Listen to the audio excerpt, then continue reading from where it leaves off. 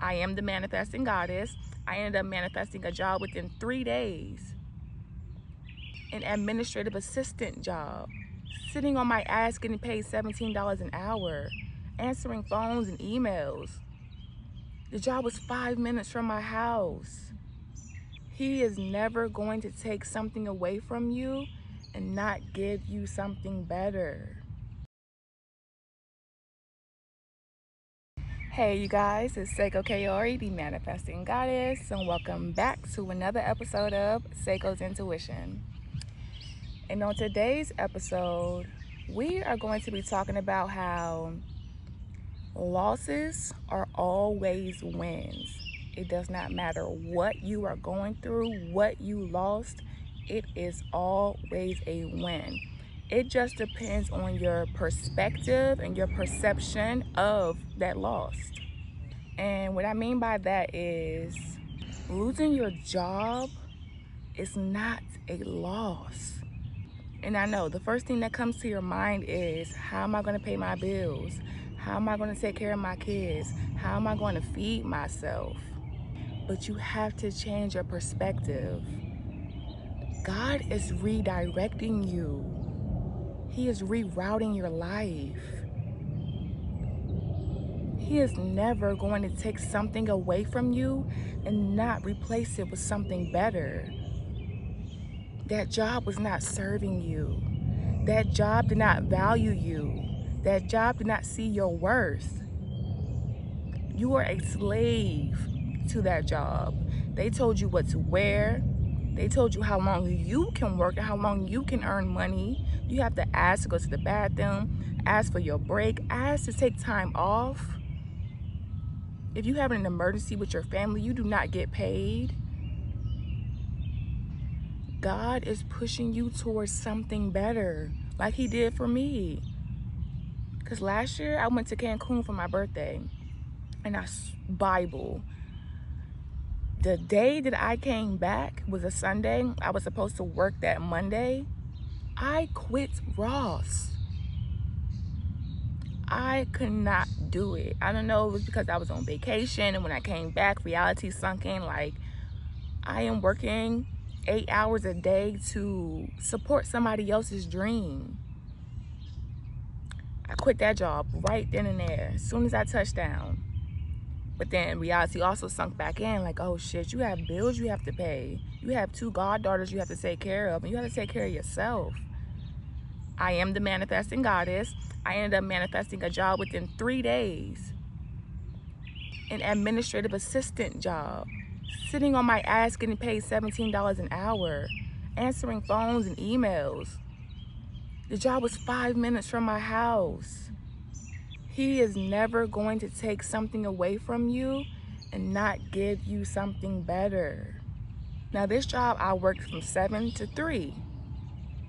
And in my head, I'm a hustler. So I'm like, okay, this gives me enough time to get a second job, working from four to maybe 11. While I'm at work on my break or while I'm at work when it's slow, I'm looking up other jobs, filling out applications.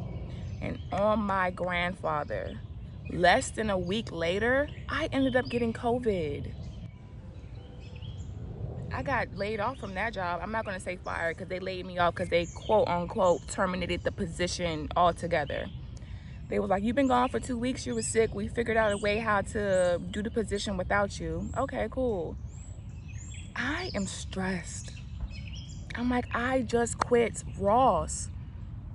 Like, just didn't show up for my shift. And I find a new job four days later, paying me more, a lot closer, and I get laid off. And mind you, I had just started. So I couldn't be sick for two weeks. I was so stressed. Sitting at home, depressed, had anxiety, worried. Because now my half of the rent is falling on somebody else. But then I started Seiko's Intuition November 1st of 2022. And I have not worked for anybody else in the past six and a half months. I wake up and I do what I want. If I want to get up and record at 8, 9 o'clock like it is right now, I can do that. If I don't want to and I want to sleep in and record at 3 4 o'clock in the afternoon, I can do that. My birthday's in a few weeks. I'm going out of the country. I don't have to ask nobody for permission. I don't have to ask my manager for extra hours to get extra money. They are never losses. Same way if you get sick or you get hospitalized. That happened to Tabitha Brown. She could not understand why she kept having headaches every single day for a year and a half. She went vegan for 30 days and completely changed her life. Now, she is the most known, most famous vegan person that I know. Some people would have seen that as a loss, like, oh my gosh, my health is declining. I have headaches every day. I can't function. I can't work. This is just too much. You know, now I have to go vegan. I miss my pork. I miss my chicken. But look at that her going vegan and changing her life over 10, 15 years ago made her to who she is today. Same thing with that relationship that you think you lost. Because I've told you guys before, y'all keep trying to hold on to things that the devil put into your life. And God is trying to remove it. So if you got cheated on or somebody left you for somebody else or that person just did not want to be with you, that is not a loss. God sees things that we cannot see. He knows plans and motives that we don't know about. He is protecting you. If I was still with my ex and that person didn't hurt me the way they did, which propelled me into wanting to love myself more, which also propelled me into my purpose, I would not be doing this. And I'm not giving my ex any credit because I put in this work. I came up with the name. I do my videos. I'm the one being consistent. But that trauma is what triggered my spiritual awakening. It's what triggered my purpose.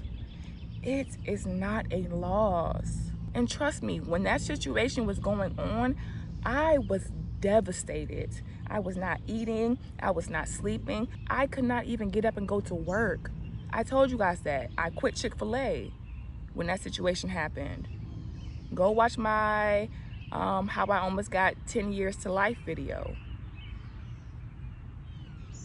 It is not a loss. You have to change your perspective. Stop always victimizing yourself. Stop thinking that you are cursed or that God doesn't love you or he don't hear your prayers. If somebody in your family passes away, that is heartbreaking it can sometimes be traumatizing. But change your perspective. You gained an angel. You gained an ancestor. You gained somebody who was going to watch over you for the rest of your life. Because I was devastated when my grandfather passed away. Devastated. Me and him were like this. I was that grandchild who lived with their grandparents but I had to change my perspective. He is no longer suffering. He completed his life purpose. Now God had to call him back home. I get dreams about my grandfather. My grandfather comes and visits me in my sleep. Sometimes he would look up for my mother and he'd come into my room and I'd be like, Grandpa, wrong room. But like, you have to see and find the good in life for your own sake and your own peace. You have to find the good in everything, even death. There's women out here who has gotten raped and assaulted. And now they're motivational speakers, speaking to hundreds of thousand people in auditoriums and stadiums, getting paid so much money to talk about what they've been through, to tell their story and their testimony. They're getting paid to have one-on-one -on -one coaching and help other people heal. It is always a win, you guys. Everybody wants to have a testimony, but you can't have a testimony until you are tested. But I am Seiko Kaiori, the Manifesting Goddess. And if you resonate with what I say, like, comment, and subscribe. And I will see you guys on Thursday.